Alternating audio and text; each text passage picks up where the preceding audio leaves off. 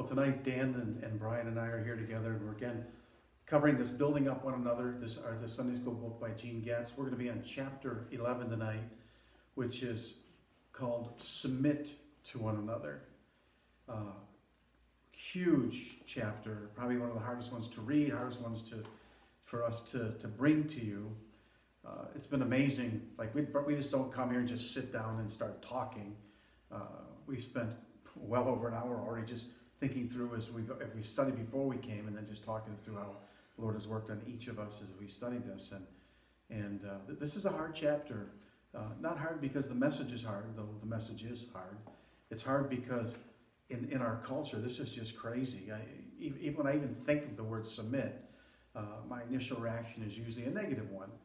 Uh, but when we look at what Ephesians 5.21 says, it says this.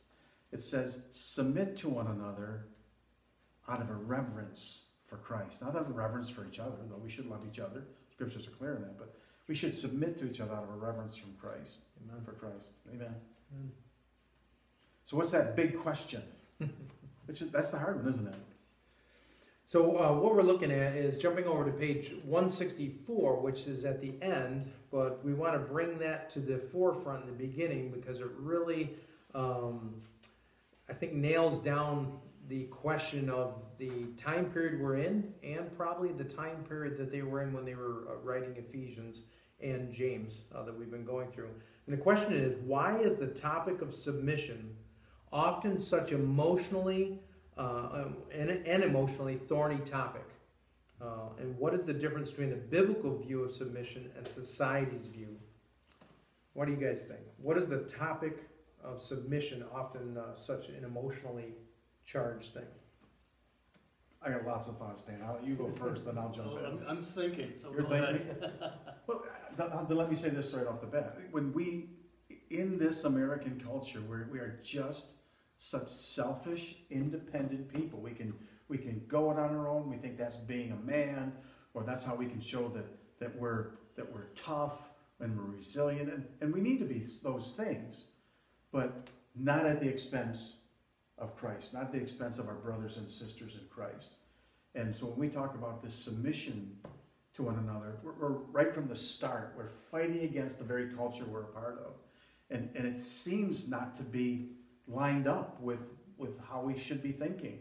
In fact, we hear these other voices in the world, you know, saying we need to be independent. We, we, it's all about me. It's all about I. And, and that you, you can't hardly go out and buy food or clothing. It's, it's even your food now is tailored to you.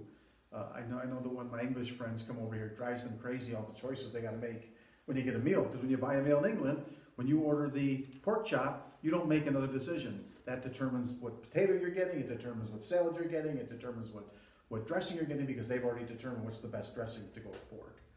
Get over here, it's like, what dressing do you want? Do you want salt? Do you want pepper? Do you want onions? Do you want, do you want tomatoes? Do you want, and, and they're like, ah, you know?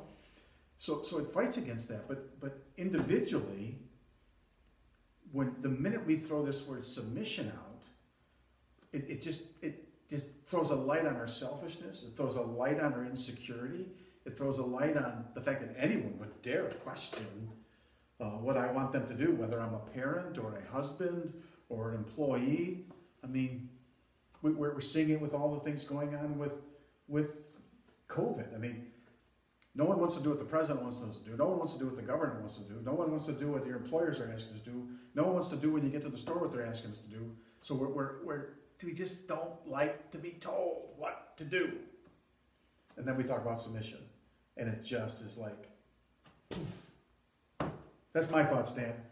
Well, I, I remember the years we were chapter leaders for homeschooling, and I had said many times in that circle that homeschoolers are an independent lot. Mm-hmm. And I think that's true of many of us in church. Mm-hmm. And you know, one of our favorite holidays is what? July 4th, Day of Independence. so it falls in line completely with what you're saying, Mike. Yeah. It's tough. Then you think about the very model that Christ gave. Now, here, if anyone needed us to show complete reverence to him, it's Jesus Christ, the Son of God. So he could have easily shown up and lorded it over all of us, and there, there should be no question. Of, he, of course, he has the right to do that. But what does he do? He comes and he models Servant leadership. servant leadership. To the point where he's washing. This is God, the Son of God, washing the disciples' feet.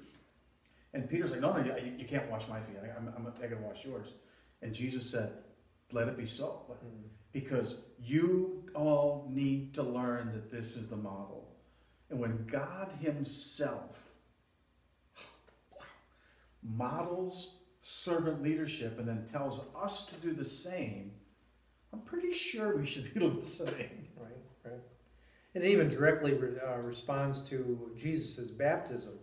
Um, John the Baptist was struggling with that. And he's like, I, I, I can't even loose your sandal, let alone Mhm. be baptizing you. I shouldn't. This is no. He says, let it be so. And the reason is he had a reason of submission to the mission why he was sent here. And, and what we struggle with, uh, even myself, when we start reading through the chapters where we even get to the word submit, sometimes we shut off and we should turn on and start listening even more closely, which is what we're going to get into. We're going to get into fine tuning the radio of your mind tonight. As we open up this uh, section, session three, we're going to read through some sections. Bear with us as we read through them because we want you to focus in on God's Word, which is really the microscope that allows us to see more clearly. So be ready for that. Yeah, when, when, when we're not submissive and leaders are not using a form of servant leadership, it, it creates this other tension.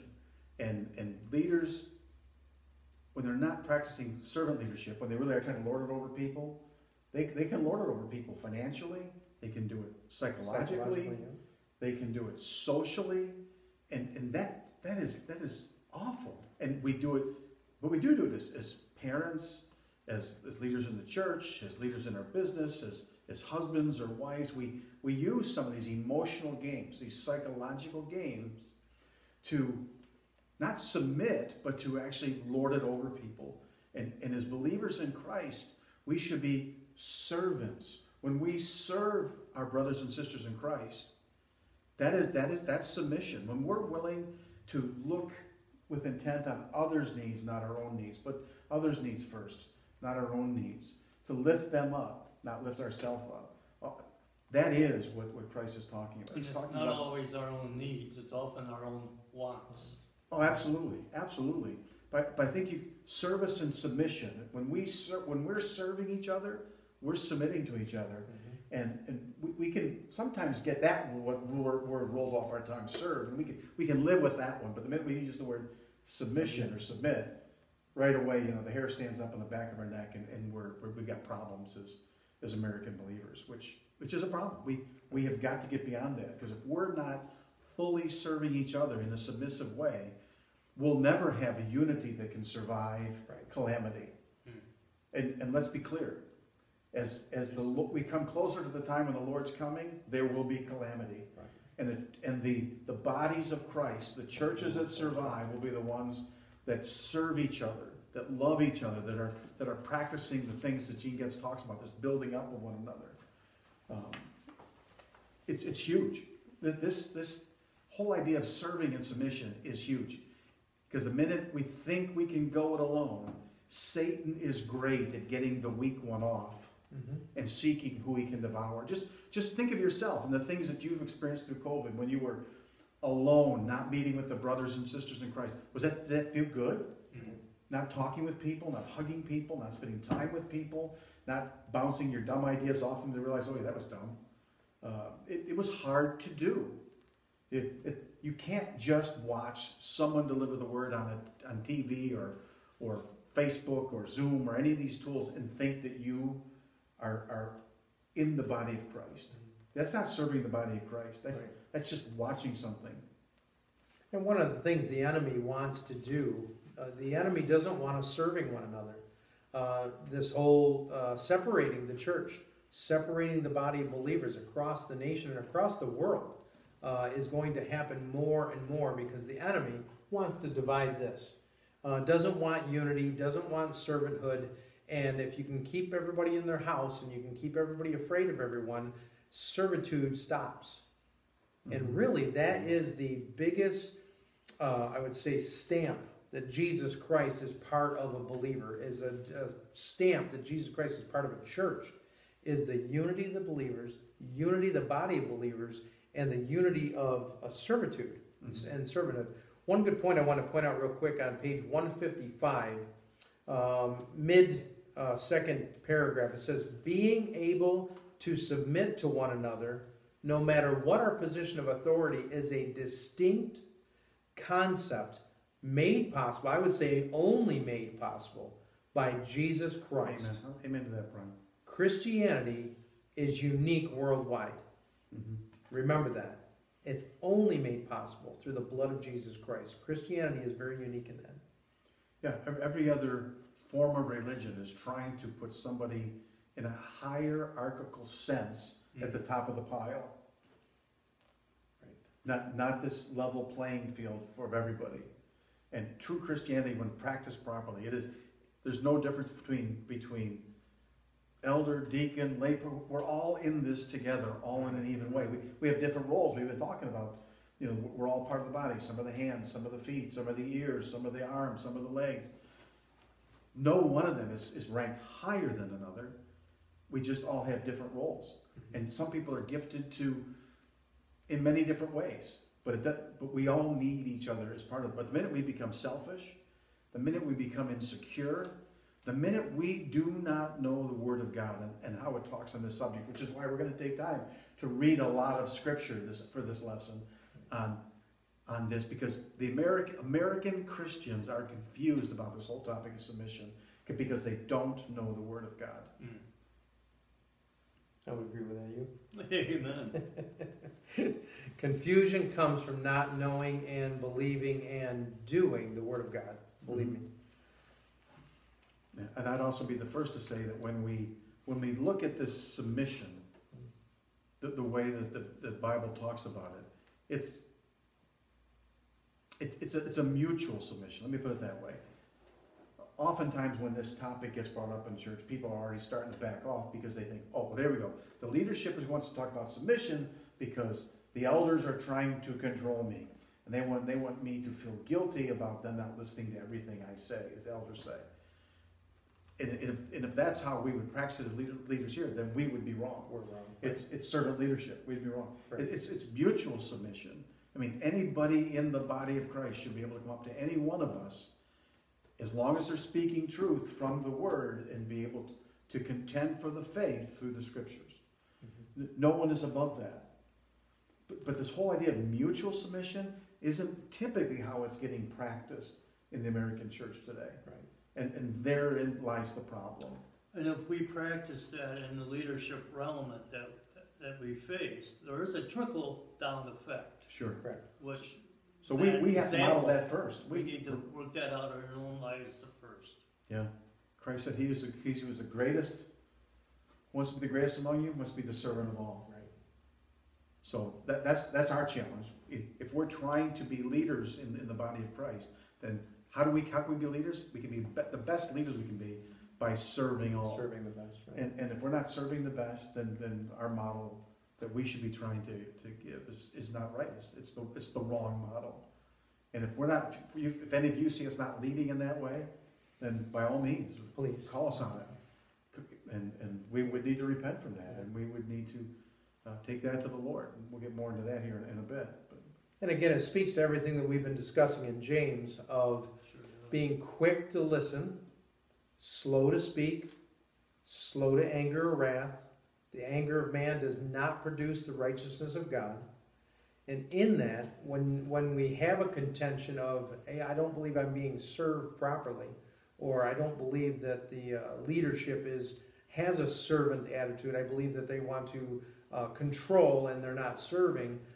Coming to a leader or coming to the leadership in general, please do, but do it in kindness, do it with a peaceable attitude, uh, doing doing it with a unified attitude of restoration, and also do it with a teachable attitude. As we asked each other, whenever we come to each other, we're just asking, "Come with a teachable spirit," because usually when we respond, it's because we don't have all the facts, and and we may have just come from a full day of work, handling a full day of stress, handling a full day of maybe family issues that we're trying to handle, and maybe five phone calls just before we sit down and talk. And all of a sudden, a really hot topic hits us, and we may respond from the flesh if we don't remember what we're teaching in James. Yeah, I'm gonna go back to James, Quick right? to listen, slow to speak, slow to anger. And when we do that, we're not speaking again, as Mike preached a couple weeks ago, and, and Amy mentioned that it's been very helpful for her. Not acting in emotion. Um, if, if, again, if you're hangry, you know, hungry, angry, tired, and you're responding to something, it never produces the righteousness of God, Right. ever. Uh, I can confess that. Uh, I, I will open up the doors of Brian Thompson's house, which are open to any of you at any time. Please come and see that uh, we are not perfect. Um, but I can tell you this I will submit to a perfect God. Amen. And in that, He will help us submit to you and teach you and, and lead you because we're going to serve you. Quick to hear, slow to speak, slow to react out of emotion and anger. Amen. A lot of ways that takes us to that key thought that we- we had on one sixty there, page one sixty. The key is for all Christians to develop the mind of Christ, to be willing to lose their lives in order to find their lives. uh, Brian, you had the hymn the other week, Turn Your Eyes Upon Jesus. Look full in his wonderful face, Mhm. and when the things of earth Grows strangely dim. and the light of his glory and grace. Yeah. Amen. Then this past Sunday, we looked at hymn, may the mind of Christ, my Savior, live in me from day to day. So that really is the key to, Mhm. to any and all of this that we're looking at. Yeah, so, so going back to that key then, Dan, for us to develop the mind of Christ, starts with we gotta get rid of the mind of Mike and supplant the mind of Mike and the mind of Dan and the mind of Brian with the mind of Christ. And Dan, you're pointing to the Bible, that's where the mind of Christ is at. Uh, and do that. And to do that, then you gotta be willing to lose your life. Well, then we're going right back to selfishness again. Because when we're not willing to lose our life, we're trying to hold on to self Right. because we want to please self. Self is the most important. And that will always fight against this key concept of developing the mind of Christ. And he tells us if, if we lose our life, we will find it. Turns the whole world upside down. Turns the world upside down. But we don't want to, we don't want to lose our life because we're kind of we kind of like our little selfish life. The, live this world revolves around the world of me. it's tough. It it's is. tough. It is. It is. It's tough. I tell you, uh, church, I, and I'd, I'd like to encourage you, along uh, with others that I have, if you get an opportunity to uh, read or study through the book uh, "Removing I from Life," "Removing King Me from the Throne" by Steve Etner, uh, you would gain a biblical insight into exactly what we're talking about. It's uh, James personified. It's it's this study personified, um, putting it in action, right? And that's what we started this with Mhm. um, setting goals, uh, knowing God's word, um, being a Christian, uh, saying I have faith, Mhm. all comes to naught if we never put that faith into action. Right. And that's what James says. It's not about works that any man could boast. It's about faith in Jesus Christ. But that faith is an active faith. Yeah. That faith is a faith that makes us move. So again, it's not works that saves us, but when we're motivated by our faith, it will Mhm. change the way we act. Amen. Because we've developed this mind of Christ. And what would Christ do? He's going to work out of his mind. He's not going to do it the way Mike would. He's going to do it he would. And that's the way we want the, the Lord and the Spirit to operate in us. Amen. So that, so that the first thing that comes to our mind to do is the things that the Lord would will us to do.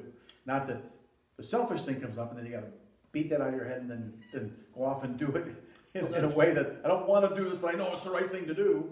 The Lord isn't looking for us to do that. Romans twelve and one and two comes Yes. in. Be not conformed to this world, But but be be transformed. That's a big word. And that's a toughie because we are all in this world system. We all deal with our flesh. And, you know, that's a hard thing. Well, we're before we're saved, we were we've come to Yeah, the Lord already that's all conformed to the world. Yeah. And and the world especially right now, don't don't miss this folks. The world is trying to conform you. The talking heads are trying to conform you. They're trying to you can't think that, you should be thinking that. You shouldn't be thinking that, you should be thinking that. It's always trying to conform you, but the things that we should be trying to be conformed to, we should all want to be brainwashed in the Word of God, Right. not brainwashed by the six o'clock news. Correct. That's where we should be getting our brainwashing. We In the picked Word up the of grandchildren uh, the other day, and uh, one of the kids said to me, Papa, life is life is hard. And I said, Well, you, you're right. But why is life hard? And he thought, and I said, Well, you go back to Genesis and we find Adam and Eve made a choice there that you and I all have to deal with, Mm-hmm. and that's sin. Mhm. And that's why life is hard. Well, and, and that's not just because of their sin and their choice. I mean, each of us every day, We, we make choices, and sometimes they're bad choices. And Right. usually our bad choices make life hard for us because there's consequences to sin. So when we make stupid decisions, we've got foolish consequences that we have to, to live through.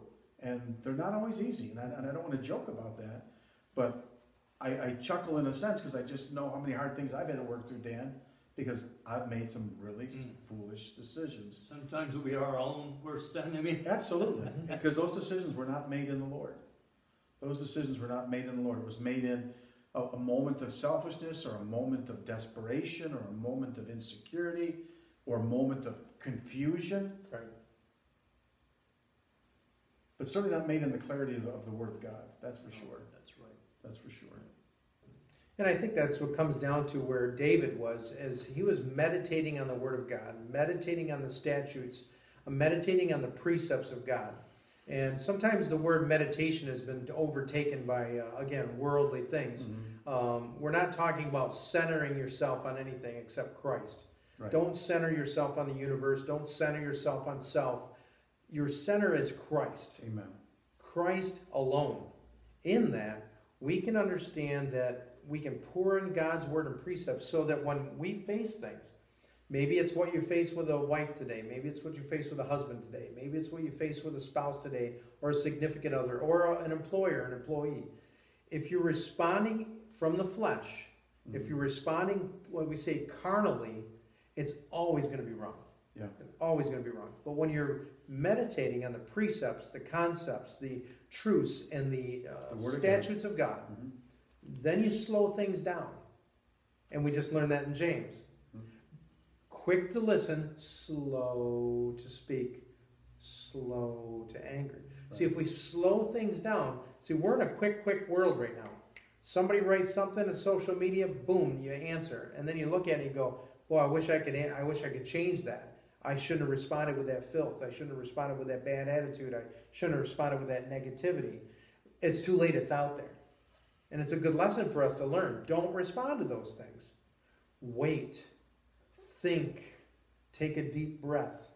As we always said uh, when uh, I used to teach a uh, wife battering um, uh, seminar, and it would say, "Take a deep breath and count to 10. And everybody's, "Oh, that's kind of a joke." No, it's not. When you're angry, you can't think. Oh, absolutely. Uh, quick, for instance, we don't have much time, but when I was in football, I was a nose guard, and I know I don't look like a nose guard, but I was a nose guard. I was a crazy guy, but but the way I got into the backfield was to make the man in front of me angry, because as soon as he was angry, he couldn't think anymore. He didn't know if it was a pass play, run play, a pull play. A, uh, he had no idea what was going on because he was so angry. He couldn't even hear what was going on in the backfield, and he would mess up every time.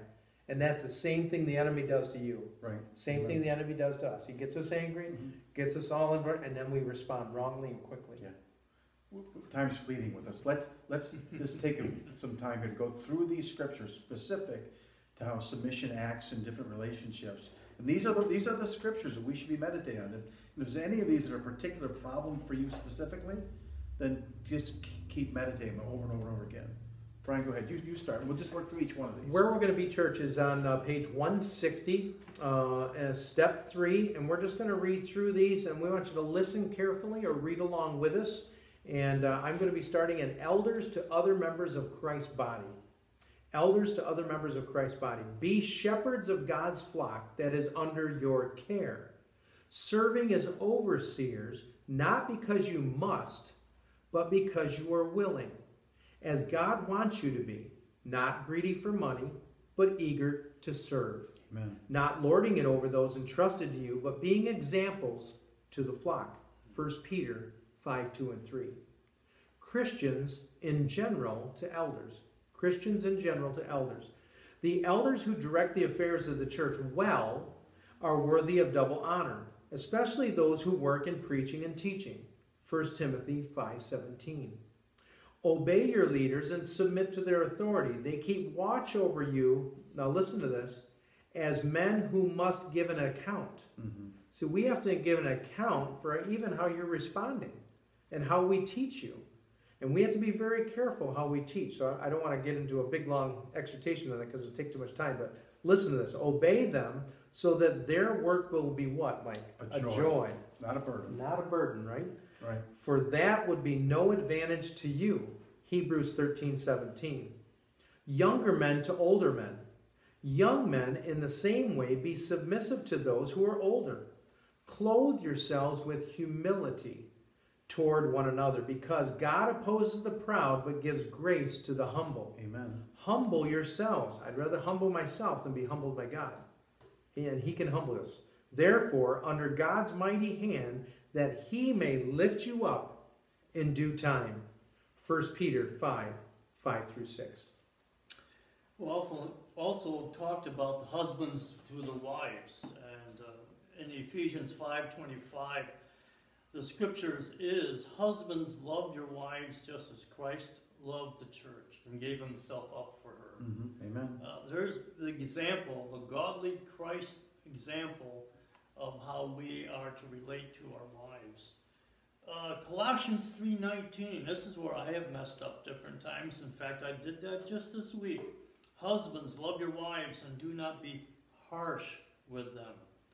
I spoke hardly with Diane, and I had to come back and we had to work that out. And I said, hmm, that wasn't a good move on my part. And then in 1 Peter 3 7, husbands in the same way, be considerate as you live with your wives and treat them with respect hmm hmm as the weaker partner, and as heirs with you of the gracious life, of, gift of life, so that nothing will hinder your prayers.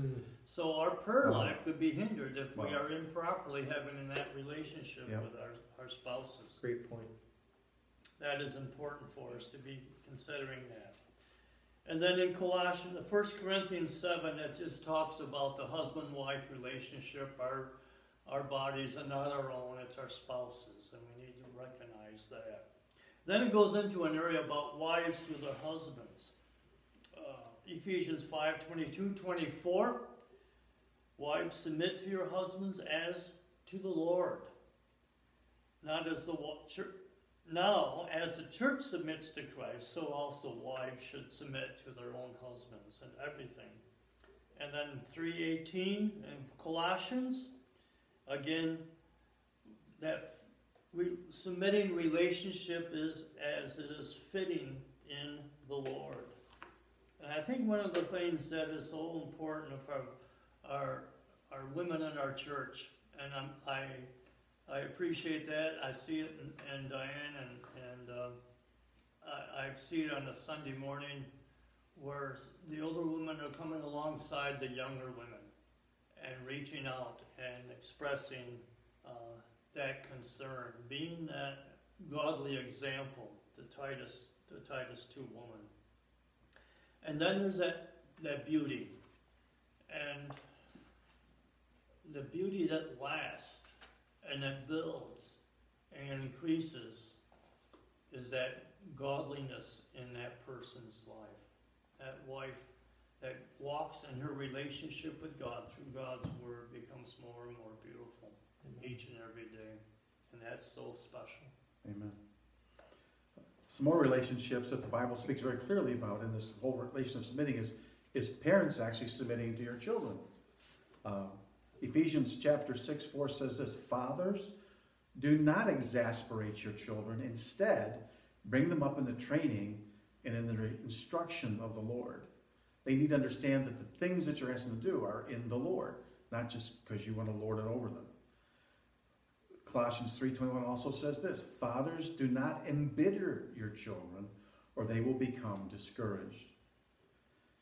And then in the relationship of submission of the children to the parents. Children, obey your parents in the Lord, for this is right.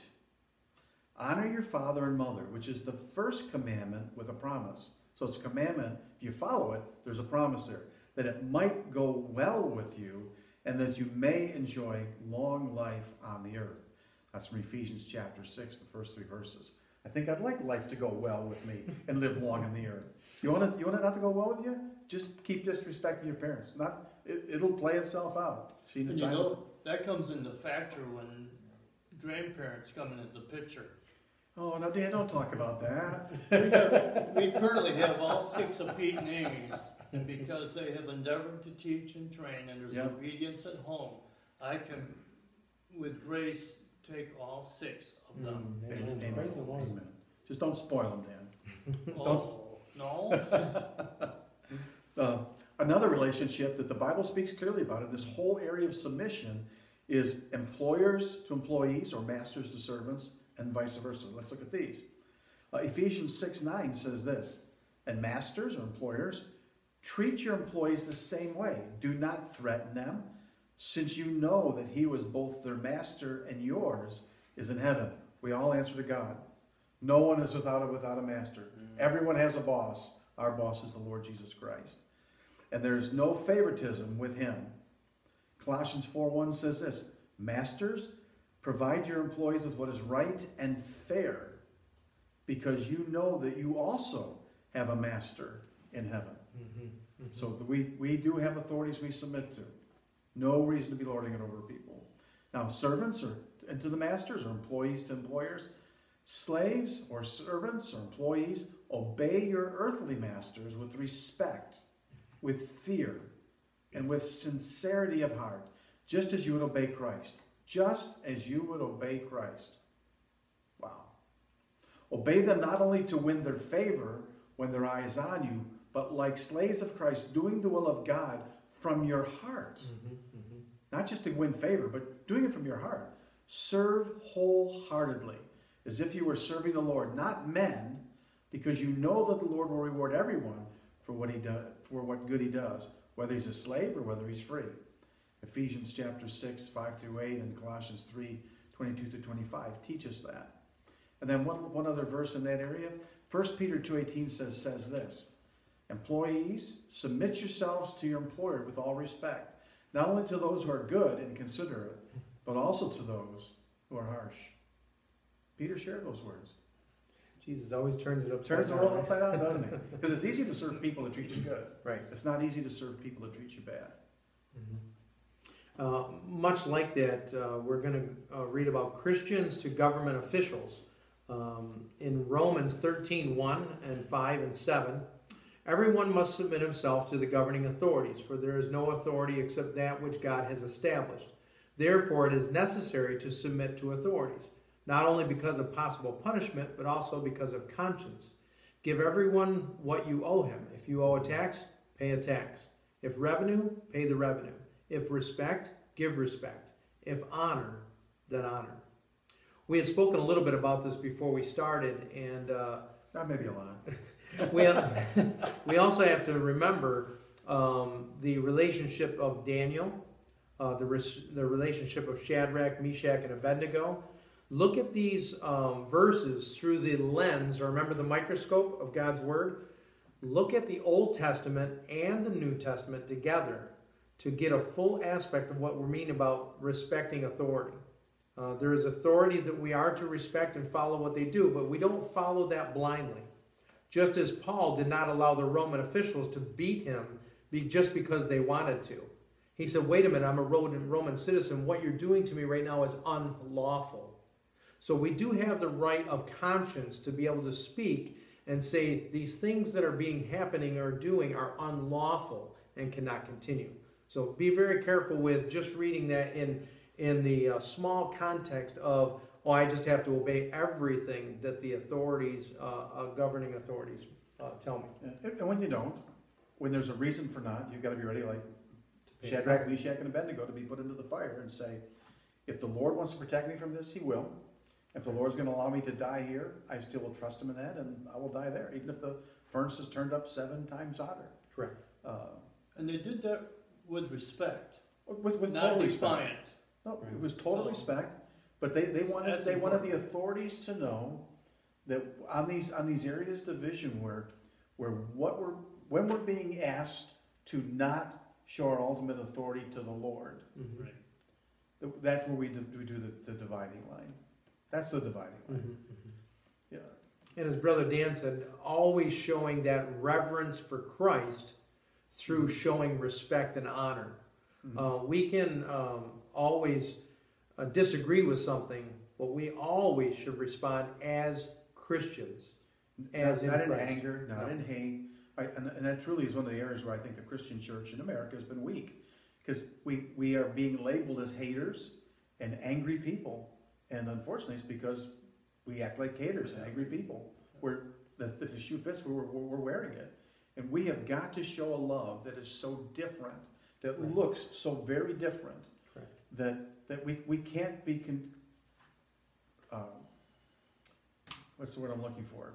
We, they can't, they can't put that name on us and, and be, and hang there. Because that's not what, we, we should be so loving. They, they can, they can say we're too nice. They can say we're too loving. They can even say we're maybe, maybe we come across weak, but they can't say, "Oh, that guy's just full of hate. He's just an angry man. That's not what we're looking for. We, that's, if we're doing, if we're, if that's the testimony of our life, then we, then we have not lived as Christ lived. And that's a good point that Mike has made. The testimony of our life. Uh, this is worth just a minute, so listen carefully. Daniel knew what the edict was of the king not to pray to anyone in that 30 day period but to the king. But what does it say? It says he did as he always did. He continued his testimony. It wasn't an act of defiance, it wasn't an act of, of, of rebellion. He did as he always did, and he was ready to pay the price. And he knew it was God and God alone that could save his life in the lion's den. So we're going to look at uh, 1 Peter 2 13 through 17.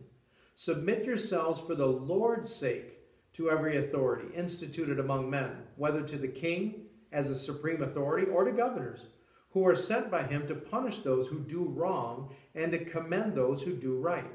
Now, in this world, some things are getting a little tipped upside down because we're in the last days. But for it is God's will that by doing good you should silence the ignorant talk of foolish men.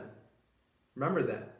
Never grow weary of doing good. Mm-hmm. By doing good, you silence the ignorant talk of foolish men. Live as free men, but do not use your freedom as a cover up Right, for evil. right. Never. Live as servants of God. Show proper respect to everyone. It doesn't say to those that you that you totally love. It says to everyone. Love the brotherhood of believers. Fear God. Honor the king. There's a whole principle that is tied throughout all of Scripture from Old into New, and that is to walk before these truths with humility, Mhm. self examination. Where are we wrong? Where do we come up short? Uh, we need to consider where we need to improve. Uh, if we do, if we do not purposely do that, we're, we're just spinning our wheels Right.